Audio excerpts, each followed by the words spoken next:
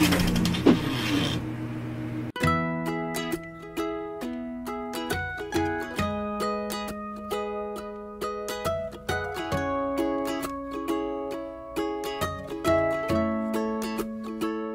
have a very crystal clear image about her as, as a nine-year-old. We were in fourth grade together. We went to the same school. She had short hair back then, till here, straight hair. She had a tinge of brown in her hair, round Gandhiji looking specs, and that checkered uniform every single day. I think she was a little taller than me also back then.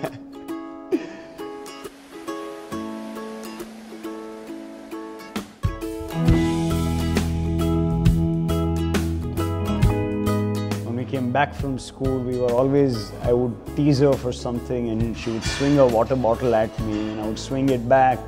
Water bottle fight. I think our kids are gonna end up like that too.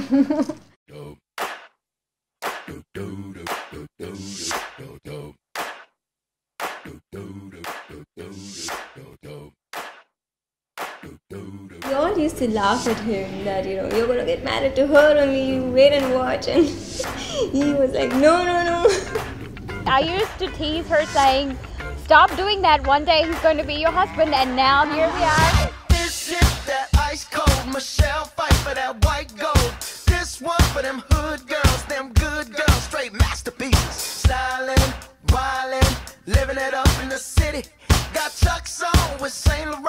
Kiss myself, I'm so pretty. I'm too hot. Call the police and the fireman. I'm too hot. They used to live in the same building. They used to throw the ball directly in Ridhi's place so that Prajit can go and get it. It was not everyone. It was only him purposely throwing the ball to her house, getting yelled at by the mother, saying, Why is the ball every time landing in my balcony? Girl, sit your hallelujah. Cause Uptown Funk don't give it to you.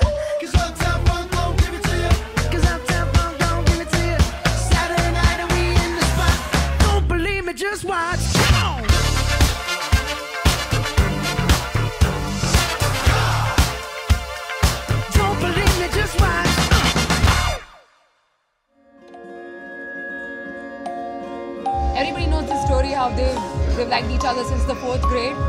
They weren't in contact at all after that fourth grade. I think in school he didn't realize probably because they both were too busy fighting. I think once she left for US, that's when he realized that he really liked her. I was in Goa uh, two years ago with my friends, and we happened to be on Vagator beach, I remember. Um, beautiful moonlit night, we were all just having a good time.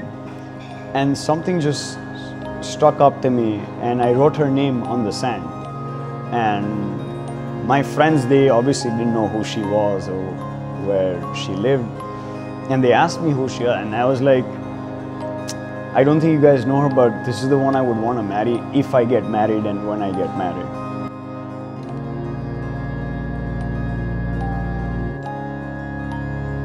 I remember uh, 31st December 2013.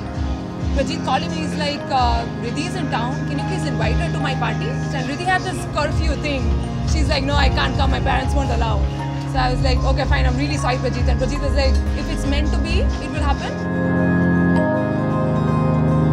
So we were always chatting on Facebook, and you know, she she was gonna come to my workplace.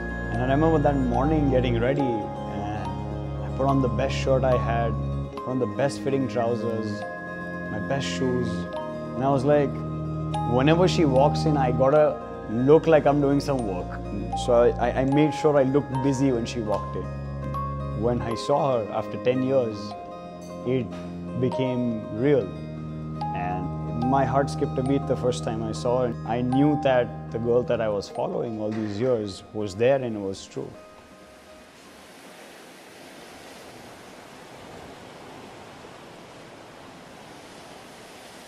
We met last year.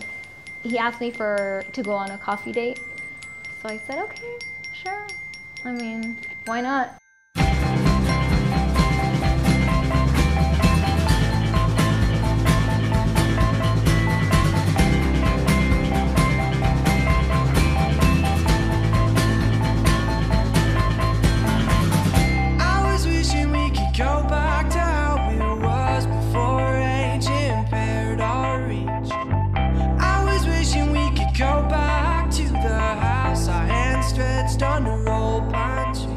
finally I got my shot at taking her out. And yeah, after that coffee date, I think she realized that, you know, what the hell, I'll give this guy another chance.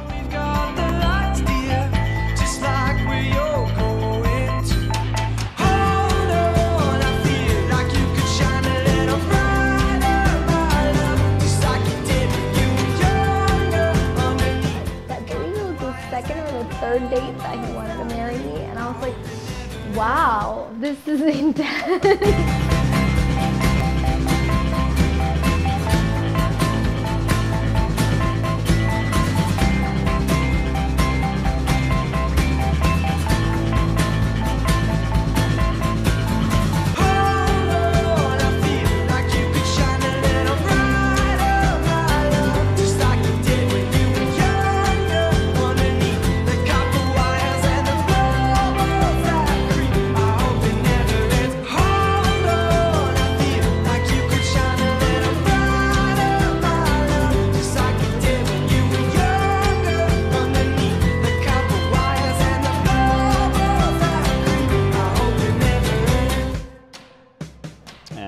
this is where we are today.